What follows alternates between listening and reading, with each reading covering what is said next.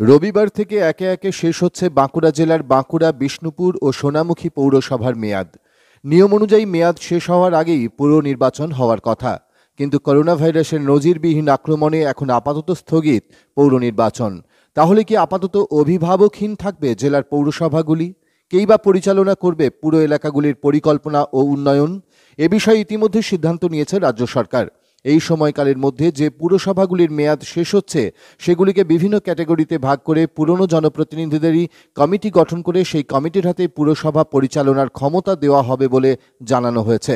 সেক্ষেত্রে বাঁকুড়া পৌরসভা যে ক্যাটাগরিতে পড়ছে, সেই ক্যাটাগরিতে বিদায়ী পৌরপ্রধান, উপপৌরপ্রধান ও চেয়ারম্যান ইন কাউন্সিলের সদস্যদের নিয়ে পৌরসভা পরিচালন কমিটি গঠন করা হতে পারে। যদিও শনিবার দুপুর পর্যন্ত সে সম্পর্কে কোনো নির্দেশিকা পৌরসভায় এসে পৌঁছয়নি বলে পুরসভার তরফে জানানো হয়েছে। ছাব্বিশ তারিখ পর্যন্ত সরকারি নিয়ম অনুযায়ী ছাব্বিশ তারিখ পর্যন্ত আমাদের, আমার চেয়ারম্যান হিসেবে দায়িত্ব আছে বা কাউন্সিলর হিসেবে আমাদের মেয়াদ। তারপর নিশ্চয়ই সরকার চিন্তা ভাবনা করছে পৌর আইন অনুযায়ী অবশ্যই তো প্রশাসক বসবে। সেই প্রশাসক কে হবেন? সেই প্রশাসক বোর্ডে কাজ থাকবেন? এটা সরকার ঠিক করবে। সরকার যাতে ঠিক করবে, আগামী সাতাশ তারিখ থেকে তিনি বা তারাই পৌরসভা চালাবেন। ওই লাগে যেভাবে ধারাবাহিকভাবেই চলবে।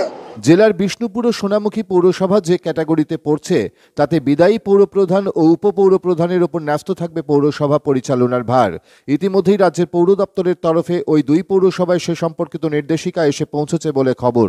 দুজনকে পশ্চিমবাংলা সরকার ডাইরেক্টর আর অ্যাসিস্ট্যান্ট ডাইরেক্টর হিসেবে তারা মনোনয়ন দিয়েছেন এবং গতকাল বিকেলে সেই অর্ডার আমাদের হাতে এসেছে।